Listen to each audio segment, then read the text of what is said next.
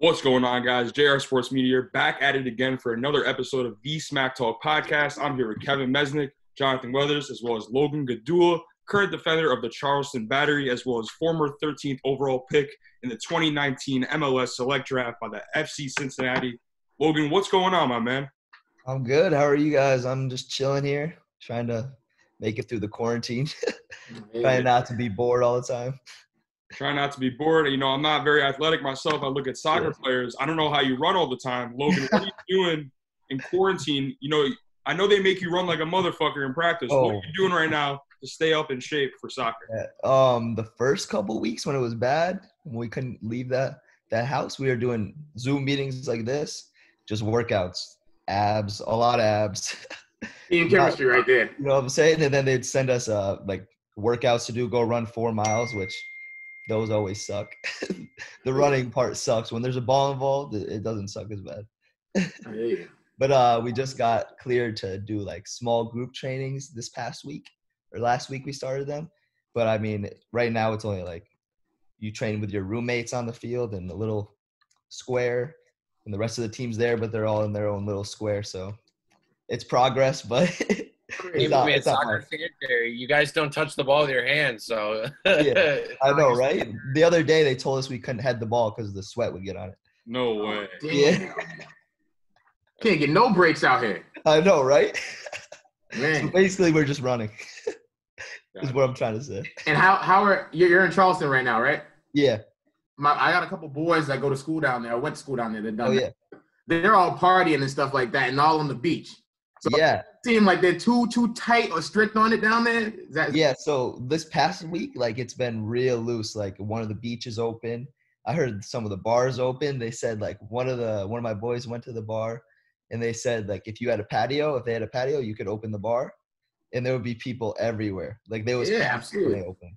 Yeah. So I mean, there's more to do now. Like I don't have to wear. I've never. I haven't worn a mask this whole time. I've gone where I wanted to go. So. Oh, you one of those guys? Yeah. no, no, no. wanna, it's not like that. you said it to you said it to the world. Now we know. Stay away from Logan. Oh, dang! I didn't mean to say it like that. I was at, uh, main, main reason why I asked you was because he's trying to get me to go down there right now. I was like, is that a yeah? Thing? No, oh, weather's oh, yeah? nice though. Weather's nice. Weather's nice. Hey. Beach is nice. So Logan, you're from Connecticut. Uh, we all went to the University of Hartford. Me and Kevin just graduated, but John actually graduated two years ago. Uh, being from Connecticut, you know, I'm from New York City, Queens. I actually don't know the sports scene in Connecticut. Can you just yeah. tell me a little bit about, you know, growing up in Connecticut, playing soccer, and now obviously playing at a professional level? Yeah, so I actually grew up in, so I lived in like two towns growing up, but like everyone, you just play like every sport. It wasn't like the area that we lived in, you didn't really see a lot of people coming out of that area playing professional sports. Like some, you know, like some places are known for certain sports, like to develop talent in those kind of sports. Yeah. But I get like my area, it wasn't really a big sports thing. Like you just played whatever. Uh, you played all what of them. Town are you from? I'm from Colchester. Colchester. Yeah. Man, that's like so I'm from New Haven. So I'm from yeah. like the densely populated part. Colchester's exactly. out, man. Yeah, you got so, a populated part of Connecticut. I got it. right? fuck you talking I mean, it's it's it's way bigger than Colchester, but Wait, so Logan, yeah. your town's not known for a lot of sports. You played soccer. What was your inspiration into getting into soccer and obviously putting in that extra preparation that separated you from, you know, the bunch? So, um, my mom actually worked at Workout World, like a Workout World, and they had an indoor soccer field. So I was two years old actually, and my grandma ran the daycare there. And I like after because I'd be there all the time. I'd get sick of just like sitting in the daycare. I just would go out and go on the field and like one of the coaches like yeah you can play with us. And so i'd be playing with like kids that are four and five because that's when it really started. So like ever since i learned how to walk i learned how to kick the ball at the same time. So like that's just where like the love for the game started because my dad was just a guy that played every sport. Like in college he played basketball baseball soccer. But like because soccer started off so early for me and i think like now especially for people our age and people even younger than us like we're told now like you have to pick a sport early and stick with it if you want to play at the highest level, which sucks because all the sports really benefit you. Like if I play basketball, it might benefit how I play soccer. Definitely. So it kind of sucks in that sense, but I mean, it worked out for me. I'm not saying like everyone should do that, but right. it, like it just was a thing that I fell in love with right away. And I did play other sports. It just like it, they didn't really compare for me. Like when you find something you're really good at, it, it's fun to do. You really, you, I stuck with it really early on. Hey, yeah. Sweet. With that, with that kind of being said, I know you said that Colchester, Connecticut, not really a hot hotbed for yeah talent or basketball talent or football talent. But anyway, I'm not gonna bash Connecticut right now. but with that being said, who did you kind of model your play after? Who did you who were you kind of inspired by to, to, to keep it going? So I was a big uh, Cristiano Ronaldo guy in the beginning. There we go. So, yeah, you know, yeah. So I was a big fan, and man, Manchester United was my favorite team. And then he left for Real Madrid, and then Manchester is blue, baby. Stop. Yeah, they are blue now. they are blue. I'm not gonna lie. They are on my podcast talking about no red Manchester. Manchester is blue now. They are, but United, I had, to, I had to stick with them. But I, I'm a I'm a Messi guy, a Neymar guy. I just think like Cristiano Ronaldo's he's like a LeBron James, very physically gifted, will be able to play for probably till he's 40 but like the way Messi and Neymar play, like they're entertainers at the highest level. Like in soccer, sports are entertainment. I just think like the game comes so easy to them, and that's how, what I modeled my game after. It was more like if you play smart, like you won't have to play as hard. People will be working harder, and you can just play smarter. So that was like a big thing for me. It's just like their IQ, like just reading the game, learning the game, just watching a lot of the game helped me a lot. So with, with that like kind of being that kind of being said, I know you said you're a fan of both uh, Messi and Ronaldo. Yeah. You can't be on the fence like that. No, no. Not no, a minute. Who are you taking to score a goal? Messi. I left Ronaldo. Woo! I mean, I would take, I would have took Ronaldo, but when he left United, I was heartbroken. Okay. Is this a personal vendetta? Per, yeah, yeah, it's personal. Okay. okay. It's personal. I also think his game changed once he left. It's more just goals, and that was about it. The number. Okay. He was a numbers guy you know, Logan, just adding on the, you know, the early fundamentals of your game. What was it like to play at Bacon Academy High School? You know, obviously, yeah. you're trying to get a college scholarship. I believe you played at uh, Minnesota, correct? Mark. Oh, for for college. Wake, Wake Forest. Forest. Wake Forest. My apologies. You play at Wake Forest, obviously yeah. a big time, you know, athletic school. They got a lot of a lot of money, a lot big department. What is it like playing in at this high school? You know, are your coaches telling you Logan, you got a good chance of getting a scholarship. You know, they're pushing you more and more. What was like the process like at this high school?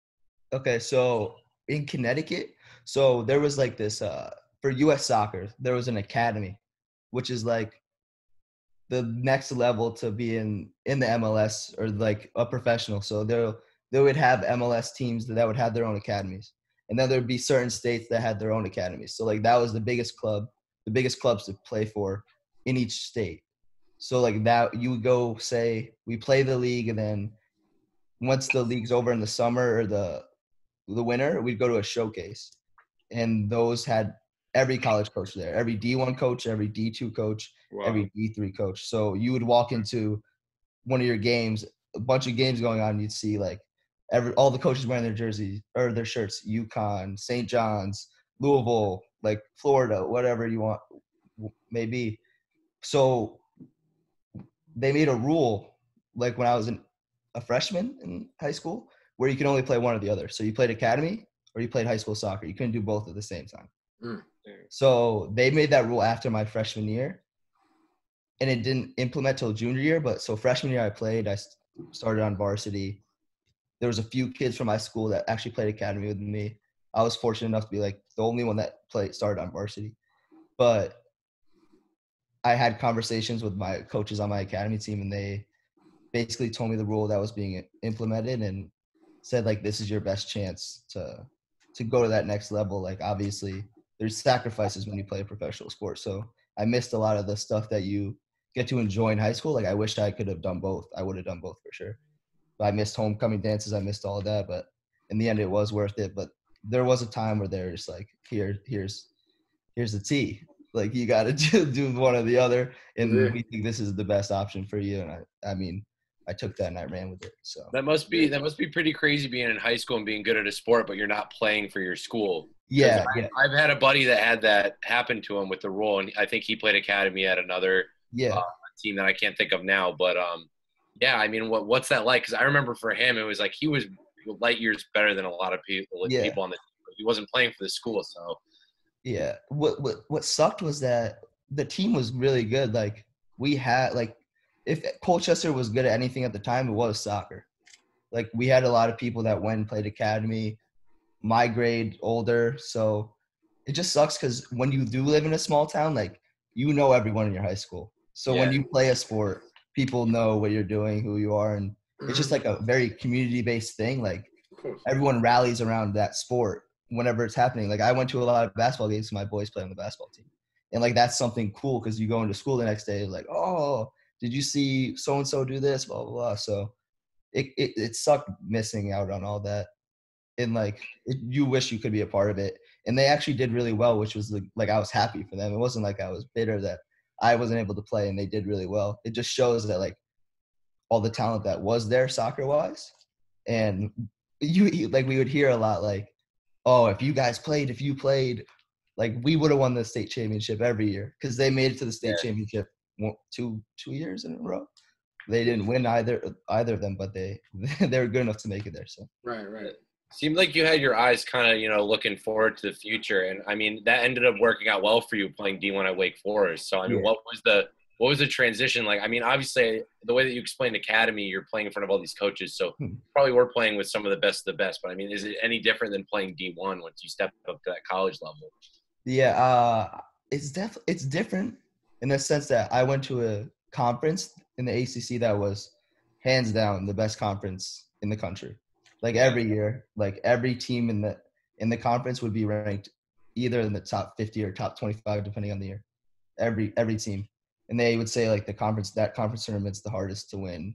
It's harder to win than NCAA tournament. So it's just it, it the level is it's different. It's a different style of play because it's more physical. Like you're playing against, like you could come in at, I came in at 17 years old and I'm playing against guys that are 22 years old, you know? Right. Yeah.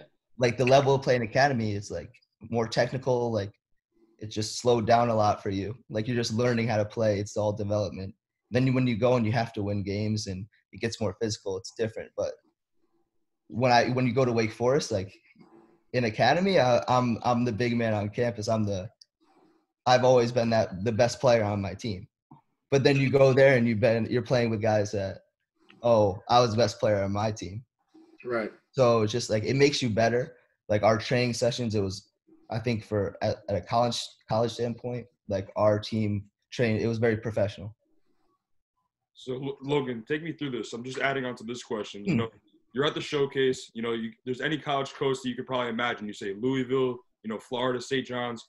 What makes yeah. you want to go to Wake Forest? What what stands out about Wake Forest that differs you from all these other colleges? Because obviously you were, you know, a highly recruited defenseman. Probably mm-hmm. could have went anywhere you wanted. Why did you choose Wake Forest? That's a good question.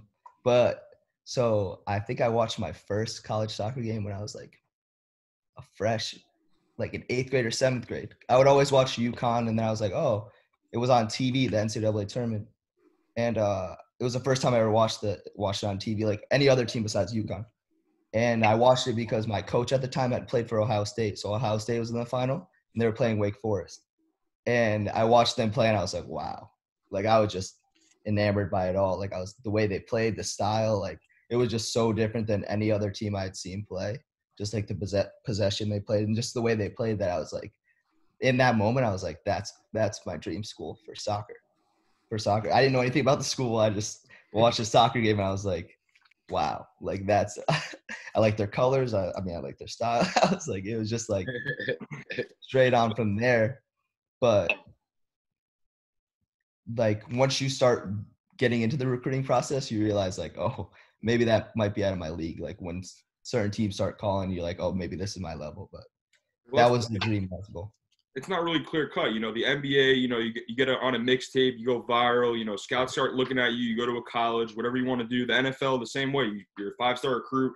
But, you know, in soccer, it's it's like a gray area. You, you know, for me personally, I don't know how the process works. You know, yeah. if I have a friend that plays college soccer, I may think that's cool. But if he's good enough to play professional soccer, I wouldn't understand, you know, the process that you go about, you know, yeah. in order to solidify yourselves under those realms. Can you just give the audience just a brief, hmm. you know, understanding of what the process was of, you know, getting to the school, obviously highly ranked, you know, Wake Forest, but obviously and then and then going into the select draft, being selected 13th overall, not easy to do. How were you able to transition yourself after college to prepare yourself to become a professional player? So, a lot. So I wanted like first and foremost, I wanted to get my degree just because that's something my mom had always talked about. That's something I want to do for her. Got to make mama proud. Yeah, and I'm first generation college graduate, so it's like a big accomplishment for me. I mean, it's a great school. Like who who wouldn't want a degree from there? Exactly. But um, I had a really good junior year. Um, thought I could have the possibility of going leaving early, but um, in the end, one more semester couldn't hurt, and I was able to get my degree, even though a lot of people that go to the draft their senior year aren't able to. But my sophomore year, when I started starting a lot and playing a lot of minutes, I grew as a player. And my coach came up to me after that fall and said, I, I think you should do summer school and try to get all your classes out of the way because I think there's a real possibility for you to get drafted high in the draft and and go on to play professional soccer. And I mean, at the time, like I wasn't focused on anything like that. I was just focused on playing and winning, and I had a lot of good players around me. So I knew what I was capable of, but I didn't ever think that high yet. Like it wasn't in my future for me at the time when I was a sophomore. So, but I did all that stuff and it comes around and you see like players on your team that you think are really good or at their position and sometimes you they don't fit into the MLS standards. Some positions like they want European players or they don't want college players for certain positions and you see a lot of good players not make it that you thought would and then you look at yourself and you're like maybe i'm not i'm not cut out for that um, i actually came into college as a, a attacker and when i got there as a freshman they thought i was good enough to be in the starting 11 but the position i played we had a junior that was a captain already probably the best player in that position in the whole country whole country so i wasn't going to sit there two years and not play so they thought it would be a good idea for me to switch to defense uh, to right back and at first I was like, I've never defended in my life. Like I don't defend. I don't want to score goals. That's the fun part. But now looking back on it, that might be have been the biggest thing for me that helped me get drafted and drafted so high to where I feel good about the level I'm at. Because as an attacker, it's really hard to make it in the MLS. And to go that high in the draft, that's they look for defenders for college defenders that that they know could be reliable. So that helped me a lot. Like that was a big move, and I don't regret that at all now. So that was probably the biggest thing. It's like switching positions, and then you go through a process of you don't know if you're going to make it to the combine. So then I went to another pre-combine that I was invited to. During that, I realized that I got invited to the actual combine, and then when you get to the combine, it's it's stressful it's it, like depending on who you ask, it's a good experience or it's a bad experience. For me, it was fine, but like you could feel the anxiety in the room.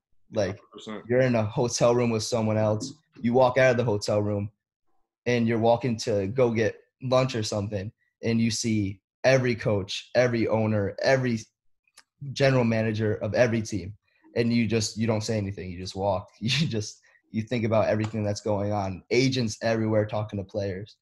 And like with me specifically, you could feel the energy with the people that you're with. Like you would have interviews, and I was lucky enough to have a lot of interviews. Like one of the most players to have interviews with a lot of teams. So it showed a lot. Of, they showed a lot of interest. And I go back and sometimes players would be like, "Oh, you want to hang out?" And I was like, "I can't have an interview." And like you just could feel like the disappointment disappointment in them. So it kind of sucks on that level. Like you want everyone to win, yeah, everyone to eat. So that was kind of a thing for me. Like I enjoyed it, but at the same time, like I could see why people wouldn't enjoy it right. at the same time.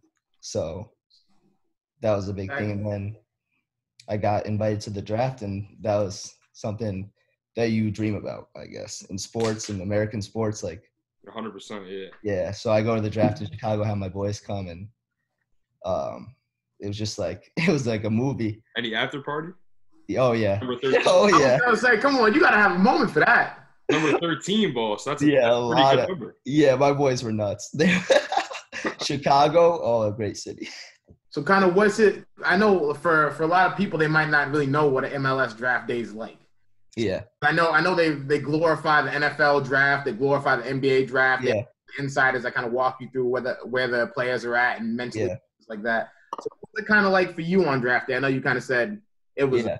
a major moment for you, but kind of So it was actually a real quick turnaround. So you go from the combine to the draft being in like four or five days after. So mm-hmm. I go home like I, I'm like, oh, I got this many tickets to bring my family. Like I tell my friends, oh, it's gonna be in Chicago. Like at that point, I know like the range I'm gonna go in. Because when you're at the combine, mock drafts are coming out every day, a new mock draft. So people are stressing about that. But I you, saw, knew, you, you already knew you were top fifteen. yeah. So I was in that range of like seven to fifteen. Like probably wouldn't fall out of fifteen. Probably. Time out one second. T- Not Yeah. to interrupt you, but were you going on Twitter and searching up your name every five seconds with the research? Come on. Oh, I was, I was searching for those mock drafts. Come on. Yeah. These- Oh yeah. These Oh, I would search my I would search my name too. Like players want to go on, on, on Sports Center and say, "Oh, I- I'm not paying attention to the mock drafts, buddy. You're on your phone." flipping Oh, no. page." everyone's looking at that stuff. When your name's out there, you want to see what people have to say. Exactly. Exactly. But uh yeah, that was that was crazy. Um but we uh we got like we went home for a little bit. I got a haircut, got all that that nice stuff done. Figured out my plans and then we flew out literally the day before it. And we drove me and my boys drove all the way to New York. We met my parents took a separate flight. We drove to New York, got on a plane, it was freezing cold. We get there, or like I'm on the plane and teams are calling me the night the night before the draft, saying, "Oh, can we meet? Can we meet again?" Blah blah blah. And I'm like, "Oh my god!" Like uh, the flight attendants yelling at me, like, "Oh, we're about to take off. Like, can you put your phone down?" And I'm staying on the phone, and they keep coming back. Can you put your phone down? I'm like, no, no. Like, You man, I'm about to get drafted. You Yeah. down, okay? You put the phone down. but uh, we make it there late at night, and then the next day is the draft. Like, I could barely sleep. Had all my stuff laid out. It was like at 12, 12 o'clock it started, and they do the introduction, and you're you're just like, even if you think you know that you're going in a certain range, and you know like, oh, when it's gonna happen, you're still sweating. You don't know what could happen. Like anything could happen. People could trade up, trade down.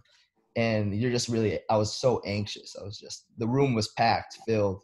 The commis- commissioner starts talking and all that stuff. And uh you hear your name called and you like second guess it. You're like did they call me? That's you go up there and you give the speech. You hug the commissioner take pictures the speech the whole the whole thing. Just like you would imagine the crowd everything then you go back and then you're bombarded with the media asking questions different questions different pictures a picture here a picture there so it's definitely like surreal and everything happens so fast you just you have to take a moment and try to take it in and it, it, it's hard to because So Was what? it, a, was it a culture shock going from like a small Connecticut town to hopping off the stage in Chicago and Yeah. surrounded by the media? oh yeah it was like I, I i felt like i shouldn't have been there like a how did i make it there like a, a kid like me from this small town playing soccer i i would have never guessed that that would be the end goal What was the moment that like you kind of woke up and you're like, "Holy shit, I'm a pro"? Uh, What do you remember the day that that happened, or was it like the first day of practice, or uh, or what?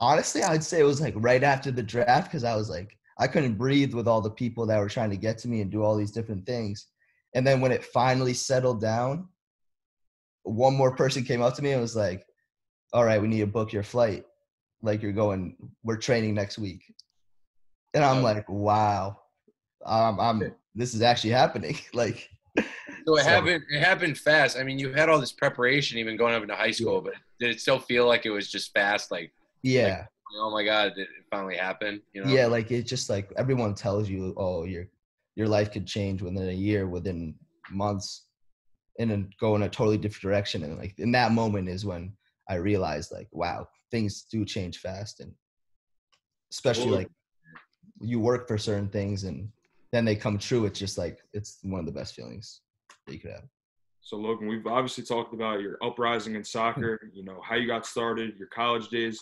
Give us a little bit of feedback or, or advice on what are you planning to do now? You know, obviously we're in Yeah. quarantine, you're you're running around trying to get trying to get your workout done. What are some hmm. future aspirations and goals that you have set for yourself right now for the short term and long term future? I think just short term is getting back on the field and hopefully balling out and getting back up into the the first division. Ever since like I got waived from Cincinnati, like that was that was a year that for soccer was a lot more about learning the league and the business behind sports and just like all the politics behind it. And sometimes as a rookie, like you don't end up in great situations as a professional. And that was a big thing for me.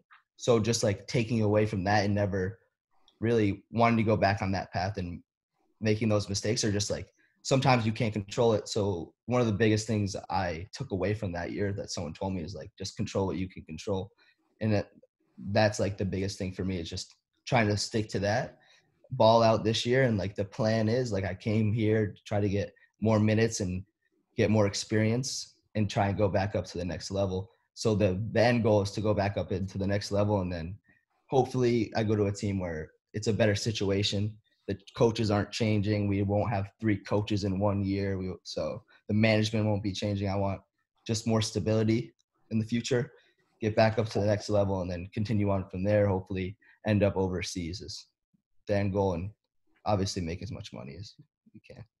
So just to close it out, uh, you know, give some advice for someone maybe that's in Connecticut or someone that's in a small town who's aspiring to be an athlete, but you know doesn't see that path because their town isn't a hotbed for you know football or their hot town isn't a hotbed for soccer. What would you tell that kid in order to keep going, in order to play at Wake Forest, and you know, in order to play Major League Soccer in the United States? Yeah. I would say mostly like do your research, listen to the people around you that know what they're talking about. Um, like, but do your research. Know what academies are the best. What what high school soccer will do for you because high school soccer at one point was good, but now it's not. You're not going to see Division One coaches in an area where we, we're from going to watch college or high school soccer. Go to those prep schools if you want, or go to those academies. Like there's MLS academies. Do your research on that, and just stick with it. Like even if you are from a small town from nothing, there's people out there that make it, and there's talent out there. You can't knock your own talent. Like you could, it's God given, and just when you want something, go out and reach for it. Like you might have to sacrifice a lot when you're from a small town because you might have to go out of your way. You might have to drive two hours, but like you hear a lot of those stories, and you hear a lot of them working out because in the long run, it could it could really work out. And even if you don't make it all the way to the next level, college is just as good. Whether it's D1, D2, D3, set your goals high, but don't be ashamed if you don't reach those ultimate goals because the sports can take you a long way, whether it's to the next level where you're getting paid to do it for fun or if you get a free education. Like no matter what, it's just work work your way there. And like you said, like you said, even if you're in a small place in a little small pool, yeah, talent and ambition can get you a long way. Hell of a long way. Hell of a long way. Look, so, I appreciate your time. For the viewers appreciate out there, where can we find you on social media? Uh, you can on Instagram, hit the gram. Uh, Logan Gdula, just that, literally just that. Just that. I'm gonna hit you if I slide down to Charleston. Yeah. Oh yeah, for sure. I did then, that uh, patio bar. You already know. Oh yeah. Man likes to have maybe, fun. We already know. Maybe the maybe the club too. Maybe. Yeah, we all we get the club, but I I tell you what, I damn sure ain't running with you. I ain't doing no running. I ain't doing none of that shit. The day after, we got to run it out. We got to sweat it out, you know? No, no, you got to run it out, Mr. Corona. I'm not running with you. We're not even sharing the same bottle. Fuck that. You're going to be the only cup, one. Whole night, we putting your name on the cup. You're to be the only one down here wearing a mask. You're to be that guy. You're to be that guy. That's crazy. I'm that guy down there. Yeah, right.